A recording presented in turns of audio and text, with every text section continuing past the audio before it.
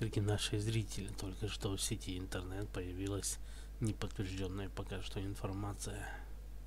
В Волгограде этой ночью под колеса автомобилей попала известная российская певица, которую знает и любит вся страна, Маша Малиновская. Сообщается о том, что это произошло в тот момент, когда певица переходила дорогу в неположенном месте. На данный момент она находится в больнице с серьезной травмой позвоночника.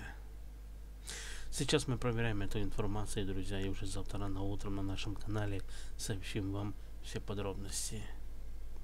Не забывайте, что только мы делаем для вас интересные новости, и только у нас самая проверенная и честная информация.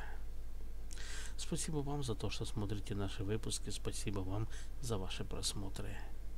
Будьте всегда с нами, друзья, на нашем YouTube канале. Берегите себя, родных и близких.